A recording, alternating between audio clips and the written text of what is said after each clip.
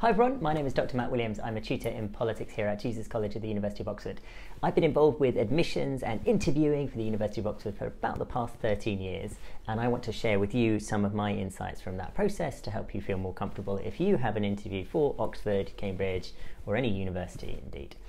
To my mind, there are basically five types of question that tend to come up in an interview.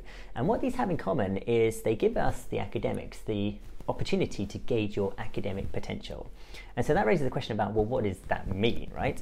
Well, the fundamental difference, as far as I can see it, between school and university is that at school you're taught knowledge and skills and how to apply them in quite familiar contexts. So you'll have problems and puzzles, but there'll be variations on a theme. At university, you'll just build on that by trying to do the same but apply your knowledge and your skills to unfamiliar contexts so that ultimately you could be part of the process of generating ideas, generating new knowledge, because that's what universities do. They're kind of factories for ideas and information, and we're looking for innovation. So we look for people who have that sort of raw capacity, not perfectly honed, but that raw capacity to start pushing boundaries, pushing ideas, pushing envelopes. And so in the interview, we will tend to ask questions that will gauge your potential to be involved with that. So that's why primarily interviews at Oxford and Cambridge are not tests of knowledge. We, we'd much rather test how you think for a couple of reasons. I mean, first of all, acquiring knowledge is somewhat easier than acquiring the skill to use that knowledge. Okay? And also, we don't know what knowledge you could reasonably be expected to have. We have applicants from 140 odd countries in, in Oxford. And so we can't necessarily assume, oh, you would have covered these things in your school syllabus. We will, for some subjects like maths, perhaps assume a certain level of understanding and skill. But even there, we will tend to push you outside of your normal comfort zone and see how you can apply that knowledge and skill to something unfamiliar. Okay? Because ultimately, what we're getting at is can you contribute to an academic conversation? Can you contribute to a conversation where we are trying to apply our ideas and our skills to something new, to something unknown and something unfamiliar, so that ultimately we can develop new new thinking. Okay, so let's go through them, and what we're going to do is go through the five types of questions in a sort of logical sequence. Uh, starting at the very foundations of what it means to have a discipline at a university, all the way up to specific puzzles that we will try and solve.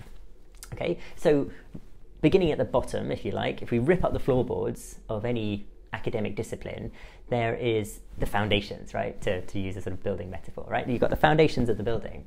And that is the sort of the understanding of what the discipline is, right? So when we talk about the sort of degrees we offer at Oxford, like history, like English literature, like engineering, what are those disciplines? what are their what are their parameters? Where do they begin and end? You know, where does sort of maths begin and philosophy end, or you know that sort of stuff.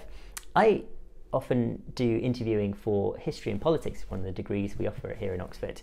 And one of my standard questions for interviewees is, what's the difference between history and politics? Because I want to have some sense that you you know what you're signing yourself up for, right? You've got three years worth of history and politics studying to do. Do you know what the differences are? I'm not looking for a particular answer because I'm not entirely sure what the answer is myself, but I want to get a sense that you've thought about it and that you have some ideas and that you're not just sort of throwing yourself into a subject without having some sense of it. Now, here's an example from English literature of a disciplinary question. So the question is, why isn't Twilight on the English faculty reading list? Why isn't Twilight on the English faculty reading list? Now, let's just be clear. How would you answer this question? Just answer it, right? So in, in the first instance, you just start thinking out aloud, just say what's coming to your mind and answer the question in a very focused, very disciplined way. So use the language of the question to frame your response. For example, well, I think that Twilight is not on the English faculty reading list because, and then you might say something like, it's not good enough, right? And that, of course, will lead to the follow up question of, well, what does good enough mean, and how do we determine what is or is not included in the canon or you know the, the great works and and the reason this is a disciplinary question is because it's kind of gravitating us towards a deeper subtextual conversation about what is English literature? What do English literature students and faculty do all day? How do they know that they're reading the right things? What if they, through some fit of sort of appalling snobbery, have determined that Stephenie Meyer must be cast out and never read, whereas Shakespeare and Chaucer and other, you know, dead white dudes should be prioritised? Now, don't get me wrong, I happen to think Shakespeare and Chaucer are amazing. I haven't honestly read Stephenie Meyer, so I can't comment. But this is a genuinely sort of open minded intellectual discussion about how we determine quality because that's the sort of thing that's kind of often assumed or taken for granted. But we need to explicitly understand what are we doing here? Do we know that we're picking the right books for the canon? Or are we maybe making some mistakes? Because that would be really bad, right? So, this is a sort of a foundational disciplinary question about what is English. And you can think about how that might apply to any subject that you're applying for as well. You know, do you understand what it means to be a geographer, a psychologist, a, a medical student, right? You're not likely to be directly asked about these questions, but if you have a view on it, it will help you understand the nature of the discipline that you're signing up for. Okay. The second type of interview question that's quite common is to do with concepts. So, if with the disciplinary questions we ripped up the floorboards and we looked at the foundations of the building, to continue that building metaphor, we're now you know, we, have put the floorboards back on, right? And the concepts are kind of like the ground that we, we, we stand on. Concepts are sort of found fundamental, I was about to say foundation again, mix my metaphors or confuse everyone, fundamental sort of uh, ideas that we use uh, to build theories and build other, or maybe maybe my metaphor should be there like the bricks. Okay, I'm, I'm really confusing now. Anyway, for my discipline, politics, the core concepts would be things like freedom, justice, democracy. Right? These are terms that we use, and they have enormous semantic importance. So we pay an awful lot of attention to them. We, we are careful as to how we use them, what we mean by them. Potentially, we talk about how we could measure them and, and understand where they begin and where they end. Because if we can't be clear as to the, to the language we're using, then everything else that follows becomes unusable. Right? If, if I want to come up with some theory as to why some countries are democracies and some are not, and I don't even define democracy, the whole exercise is completely ruined, basically. Okay, but here's an example of a conceptual question for law students, which is can you define intellectual property? Okay, can you define intellectual property? So, intellectual property is a, a very important concept. Now, again, in the early stages of the interview, just think out loud. Sort of start saying, oh, okay, well, what's property? Let's start with that. You know, property is something that you own and that your ownership is recognized somehow. You know, and as you start thinking out loud, the tutors will help you, right? They, they will help you develop your thinking and and they will help you to move in in fruitful directions with with what you're coming out with. You know, it's not it's not antagonistic the interview. It's it's a collaboration to try and come up with solutions to the to the problem. Okay, so you know, breaking down the question, deconstructing it's a really good way to start. So you could start with property, and then you could build on that to to start describing what you think intellectual property is, as distinguished from, say, material property. You know, property could be a house or a car or a wallet or something. Intellectual property is something you own that is the product of your mind. So it could be a piece of art, it could be a performance, it could be something along those lines the interviewers will then start to sort of ask, well, how are we clear as to what is and what is not intellectual property? Which, of course, is a fundamentally important question in law. You know, there, there will ultimately be a lot of disputes that will make their way to courts about who owns the rights to various, say, pieces of music. And at what point is a piece of music a downright copy as opposed to, you know, a homage or sort of merely slightly derivative or inspired by, right? You know, because musicians obviously as an example, come up with their musical ideas, but not in a vacuum, right? so they will have been influenced by loads of their predecessors. And you may be aware that there's lots of case law where individual artists have been sued by other artists for, for plagiarism and stealing their intellectual property. And it, it's a bit of a grey area. Now, ultimately, we'll be interested to know how you define intellectual property. Can you define intellectual property? Is the question, right? So don't be too tempted to sort of say, well, intellectual property is defined by X and Y statute law or case law as this, that, or the other. I mean, you can do that if you're aware of it, but it's it's not the question. The question is, can you define it? You know, how would you tackle this conceptual minefield? So, coming back to the building metaphor, uh, we've laid the foundations with our disciplinary questions. Now we've got the ground floor and we've put some fundamental building blocks, which are the concepts. Okay. The next level on from that is building theory. So now we're properly sort of building building walls of our building, right? so theory building are, is to do with the stories we tell ourselves. So a theory is a simplified story about some sort of causal mechanism, usually, and it's a story in the sense that it's not actually entirely true. Most theories are simplifications of reality simply because we don't have absolute access to reality. The real world is too complicated for our puny minds to deal with. So we come up with a story which helps us get it well enough to live our lives, right? And without planes just dropping out of the sky and terrible things happening. Okay, so the theory building question we've got here is from a past physics interview. And the question is why did the Titanic uh, initially float and why did it split in two? Okay, so this again is sort of applying stuff that you may be familiar with, applying your knowledge and applying your skills, but in an unfamiliar context. Likely you haven't been asked about why the Titanic split in two before. But you will have done some things if you're applying for physics to do with buoyancy and gravity and other forces that might work on a, on a body. And it's quite likely that you may be asked to write and draw your thinking about this. So you might draw a sort of little version of the Titanic and arrows with the various different forces that are acting on it to demonstrate you understand why the Titanic floated and yet if I chuck a penny into a fountain it sinks, right? You know, an enormous ship versus a tiny little chunk of metal, but one floats and the other sinks. So, you know, that's the, the, the theory part of it. That's explaining the story. Why is it that one enormous thing can float whilst another tiny thing cannot?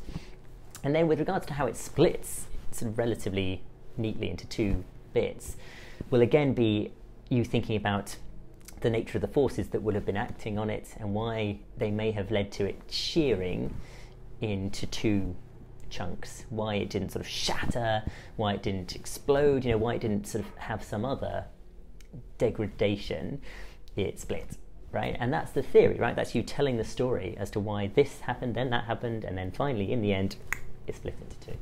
Okay, so that's what makes it a theory. And building theory is absolutely fundamental to academic. I'm, I'm saying absolutely fundamental too much, but you know, uh, it, it, really is, right? So uh, once we've got our our sense of what the discipline is, and once we've developed our concepts, then telling stories to help us understand the world.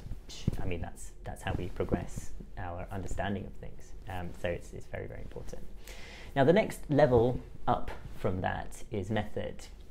Now, method is to do with how you test your theories. You've got this nice story about the way the world is and, and what have you. And now you've got to go and prove it. Now, we can never sort of satisfactorily prove much in this world, I'm afraid. You know, most of our knowledge is contingent, it's not perfect.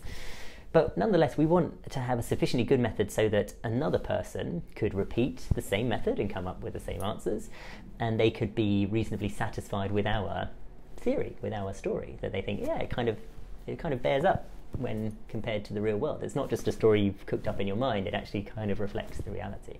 Now, here's an example of a methodological question for medicine, and it goes as follows How would you measure the weight of your own head? Okay, um, it's a slightly sort of odd question. This is the sort of question that probably ends up getting printed in a newspaper with a headline along the lines of crazy Oxbridge interview question. but the, the rationale for a question like this is that it's really good at evaluating how you apply the stuff you know, okay? And how you can maybe be the sort of person that could contribute to creating knowledge in the future, okay? Because method it, again is, is so crucial to the academic process. It's about how we come together as a community of scholars to, to develop and share knowledge. It's, it's so, so important. So, you know, again, start the interview by thinking out loud, and the academics will help you out. You might sort of say, well, I guess I could sort of plunk my head on some scales and, mm. you know, rest them, see how, see how heavy they are. And the academics will start sort of helping you develop your thinking and they'll probably point out some potential problems with your method. But here's the news no method is perfect, right? We don't have access to absolute truths about the world. Hence why we have to tell these sort of pretty stories that we call theories, and we have to come up with methods that are good enough. But we're never going to have you know, complete, indefeasible truth and, and understanding. So the methods will always be, to a greater or lesser extent, flawed. So if the academic says, we, you know, if you rest your head on a scale, it's going to have various problems because, for example, you know, it's still attached to your body and therefore you're holding a lot of the weight. That's not them saying, this is a complete disaster, right? The interview's gone terribly and you should be ashamed of yourself. They're saying, you know, evaluate what you've said. What are the strengths and weaknesses? Because everything, everything in academia has a strength and a weakness. Nothing is perfect, okay? And the academics will know that better than anyone because they will have spent their whole careers trying to get things published and pushed forward where the strengths and weaknesses are pointed out to them very plainly. Okay, so you know you might sort of say, well, okay, if I can't rest my head on the scales, I mean, maybe we could do something really drastic and, and horrifying, like we could cut our heads off and then plonk them on the scales. Now, I mean, obviously that's grim and and you know unrepeatable uh, method, um, but it's also again kind of flawed because I mean, uh, not wishing to be too gross about it, a lot of the stuff that's inside your head will, will come out. Um, and so then that sort of begs the question as to what you count as the head, right? And so now we're coming back round to a conceptual question. What is the head, right? Where does the head begin and end? Uh, and do we include all of the contents and including the blood and various other sort of bits of spinal fluid and uh, stuff like that? Um, you know, so how can we how can we do it? I mean, I suppose you could perhaps try and employ Archimedean principles and dunk your head in a in a bucket of water and weigh the displaced water. See if that works. Uh, but then again, of course, you know you'll still be your head will still be attached. I hope, and uh, you know depending on the position of your body, you might be holding some of the weight back and so on and so forth.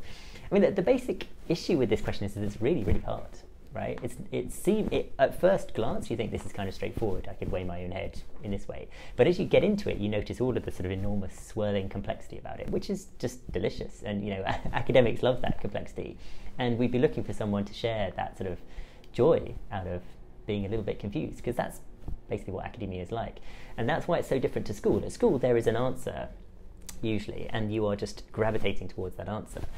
But in university, there are answers and you kind of have to work out which are better and which are worse. And the puzzles you'll be dealing with will be quite unfamiliar.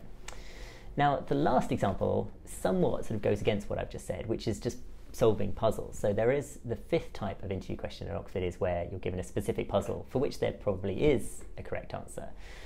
But it's still very much about how you reach that destination that matters. It's the, it's the journey rather than the destination. And it's not about how quickly you solve the puzzle, it's how you explain the stages of your puzzle solving method. So, this is another sort of methodological question. But unlike the question with regard to weighing your own head, there is actually a specific answer to this that we are going to help you get to as interviewers. Okay, so the question is what is the final digit of 2 to the power 1000?